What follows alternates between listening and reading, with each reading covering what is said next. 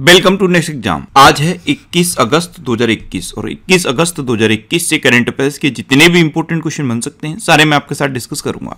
और हर क्वेश्चन से रिलेटेड इंपॉर्टेंट फैक्ट भी मैं आपको बताऊँगा तो आप पूरा वीडियो बहुत ध्यान से देखिए। लास्ट में मैं आपसे क्वेश्चन भी पूछूँगा। उसका आंसर आपको कमेंट बॉक्स में बताना है।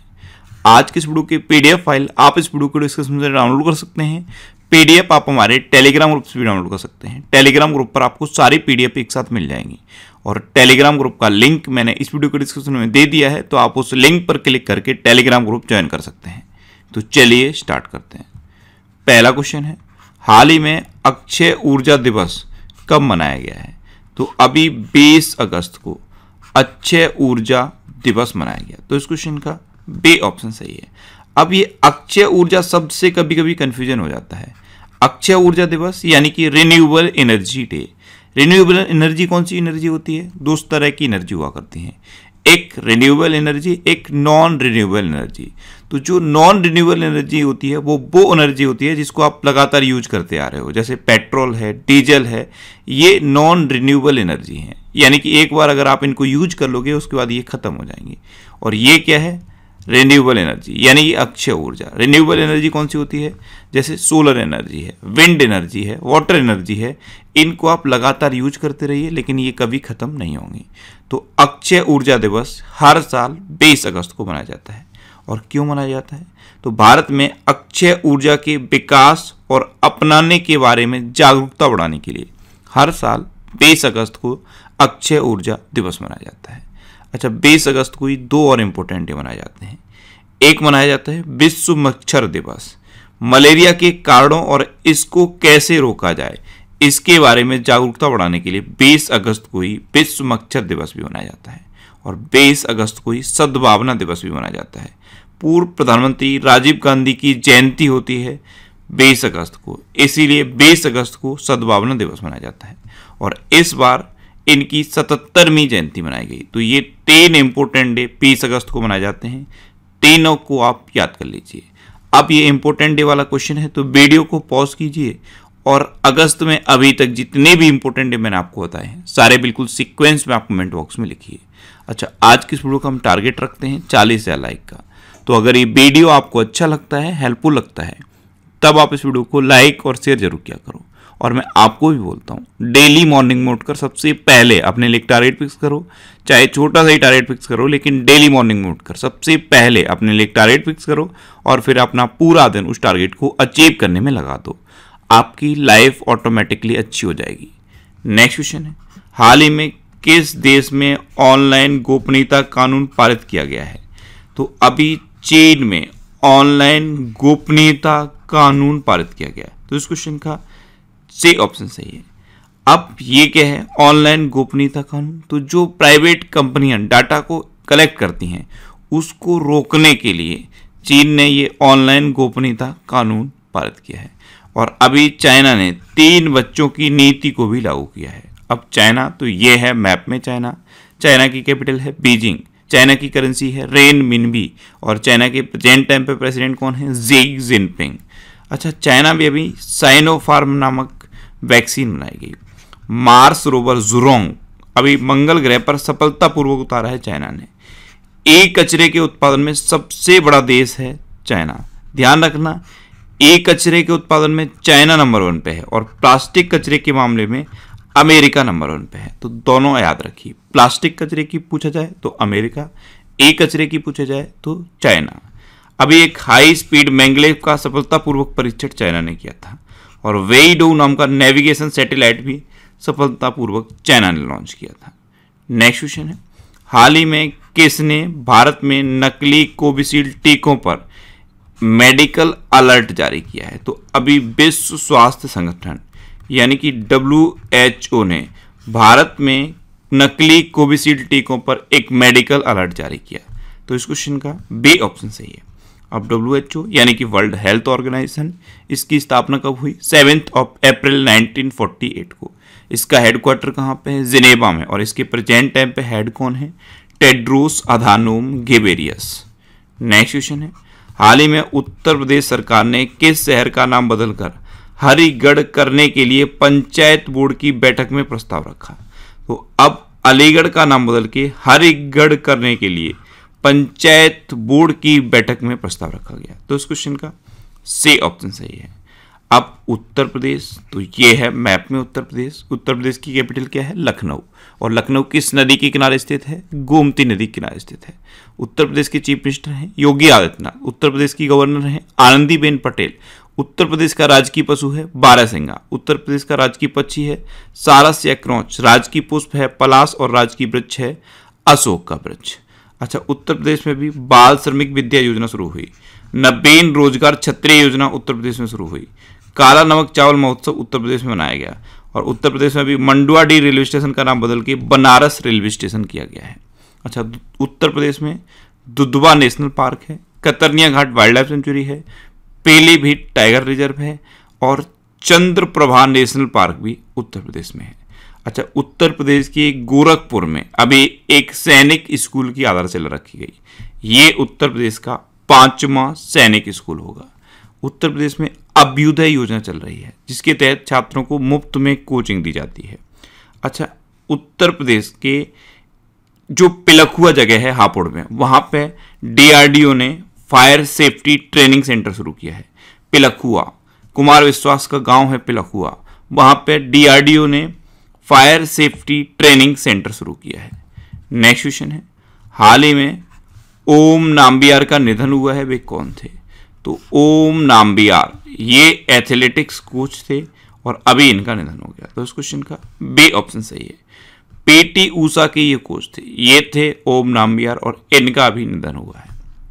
नेक्स्ट क्वेश्चन है, हाल ही में अपूर्व चंद्रा को किस मंत्रालय में सचिव नियुक्त किया गया है? तो अभी सूचना एवं प्रसारण मंत्रालय में सचिव के रूप में अपूर्व चंद्रा को अपॉइंट किया गया। तो इस क्वेश्चन का बी ऑप्शन सही है।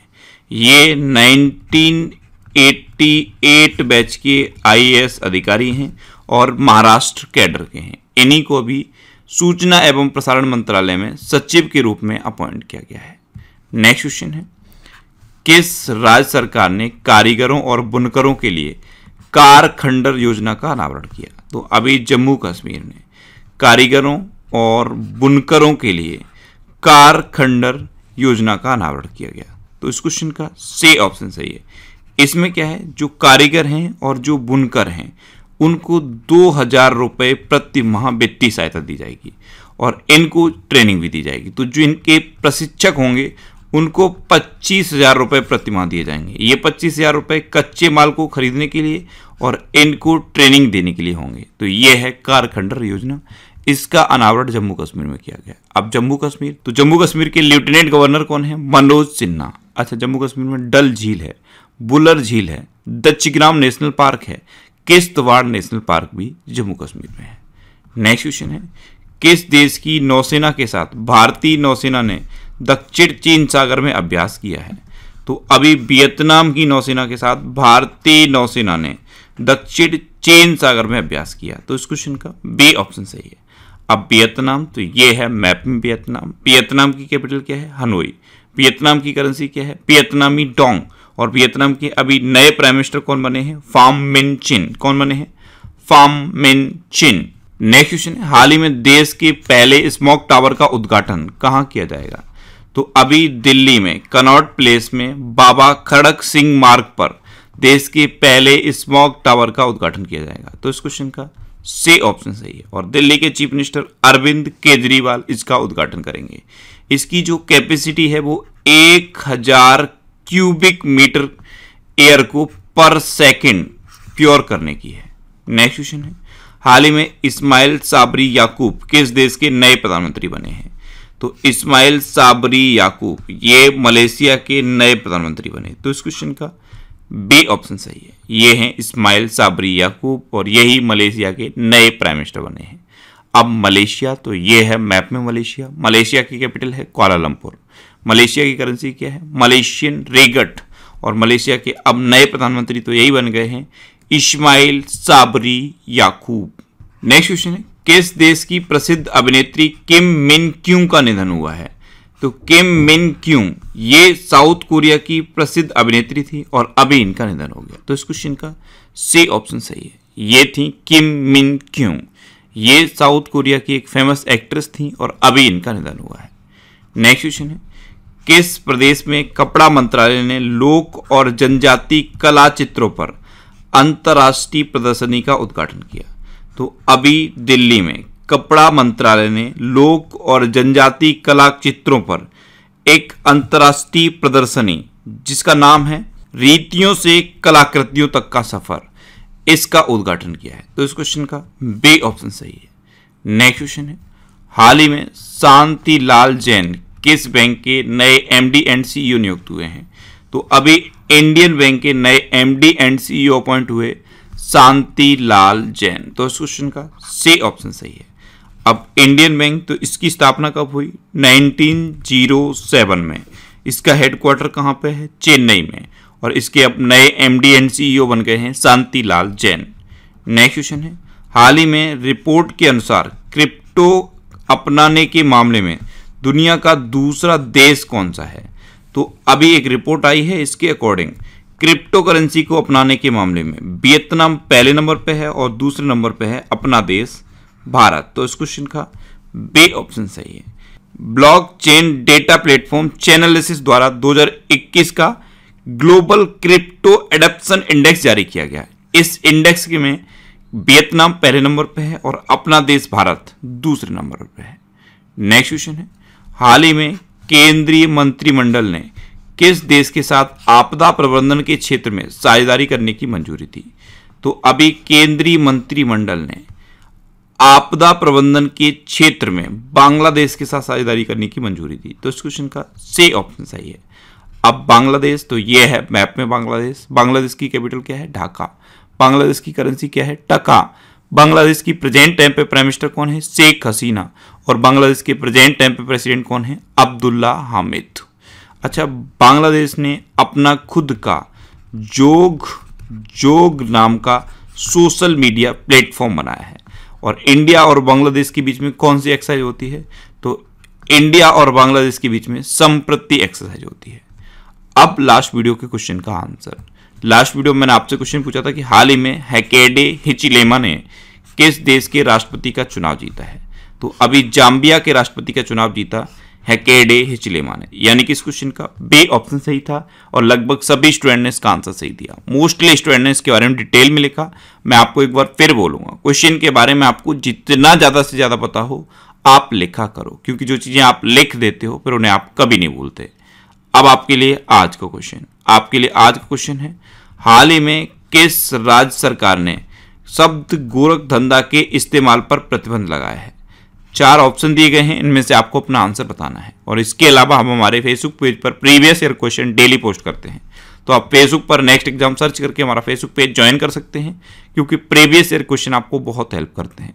अगर आपको किसी क्वेश्चन में कोई डाउट होता है, या आपको अपने करियर से रिलेटेड भी कोई प्रॉब्लम है तो आप इंस्टाग्राम पे Indresh R C I N D R E S H R C Instagram पे इंद्रेश आर सी सर्च करके आप मेरे साथ जुड़ सकते हैं, और कोई भी डाउट कोई भी confusion without any hesitation discuss कर सकते हैं। अच्छा आज की इस वीडियो का आप टारगेट ज़रूर याद रखना। आज की इस वीडियो का टारगेट है चालीस हज़ार लाइक का। तो अगर ये वीडियो आपको अच्छा लगा है हेल्पफुल लगा है, तब आप इस वीडियो को लाइक और शेयर ज़रूर किया करो। और आपके पास जो भी स्टडी रिलेटेड व्हाट्सएप और फेसबुक ग्रुप हैं, उनमें आप इस वीडियो को शेयर ज़रूर कर दिया करो। तो ये था आज का हमारा करंट अफेयर्स का वीडियो आपको ये वीडियो कैसा लगा? प्लीज़ कमेंट बॉक्स में ज़रूर बताना। और अगर अभी तक भी आपने हमारे इस चैनल को सब्सक्राइब नहीं किया है तो इसे आप सब्सक्राइब ज़रूर कर लीजिए। आपको इस चैनल से निश्चित ही मदद मिलेगी। जब भी आप इसे सब्सक्राइब करेंगे तो बराबर में एक बेल आइकन बन के आएगा। आप उस बेल आइकन पर ज़रूर क्लिक कर लें, जिससे कि आपको डेली मॉर्निंग में करेंट अफेयर्स की वीडियो मिलती रहे। Next exam always with you thanks for watching